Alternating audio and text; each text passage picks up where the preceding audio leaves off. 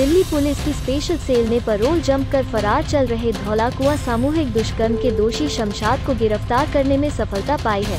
मूल रूप से फरीदाबाद, हरियाणा निवासी बदमाश को वर्ष 2010 में हुए दुष्कर्म मामले में उम्र कैद की सजा सुनवाई गई है। जेल से परोल पर बाहर आने के बाद वो ताबड़तोड़ वारदात कर रहा था। गत दो महीने में उसने दिल्ली में एटीएम लूट की 12 घटनाओं को अंजाम दिया। पुलिस ने बदमाश के पास से एक पिस्टल और दो कारतूस बरामद किए हैं।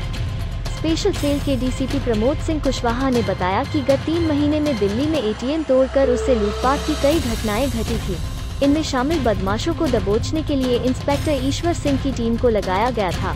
इसी बीच पुलिस को जानकारी मिली कि एटीएम से लूटपाट करने वाला एक बदमाश 22 फरवरी को गोकुलपुरी मेट्रो स्टेशन के समीप आने वाला है।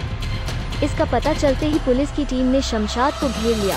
पुलिस को देखते हुए बदमाश ने पिस्टल निकाल पुलिस टीम पर गोलियाँ चला दी। लेकिन बगैर कोई नुकसान के पुलिस ने शमशाद को धर दबोचा। पूछताछ में पता चला कि धौला कुआ दुष्कर्म मामले में उम्र कैद की सजा काट रहा बदमाश गत वर्ष अप्रैल में परोल पर जेल से बाहर आया था। इसी बीच कोरोना के कारण उसकी परोल की अवधि 20 फरवरी 21 तक बढ़ा दी गई थी, लेकिन उसने जेल में आत्मसमर्पण नहीं किया। पुलिस अधिकारी ने बताया कि शमशाद लिकायत गिरोह के बदमाशों के साथ लगातार वारदात कर रहा था। गत दो महीने में इस गिरोह ने 12 एटीएम से एक लाख पैंतीस हज़ार रूपए लूटे थे। शमशाद पर दिल्ली और हरियाणा में हत्या अपहरण, दुष्कर्म, पुलिस पर हमला, पशु तस्करी व आर्म्स एक्ट के तहत 16 मामले दर्ज हैं। वर्ष 2010 में शमशाद ने गिरोह के चार साथियों के साथ धौलाकुआ इलाके में एक युवती से टैंपो में सामूहिक दुष्कर्म किया था। इस मामले में गिरफ़्तार सभी पाँचों आरोपितों को आजीवन कारावास की सजा सुनवाई गई है।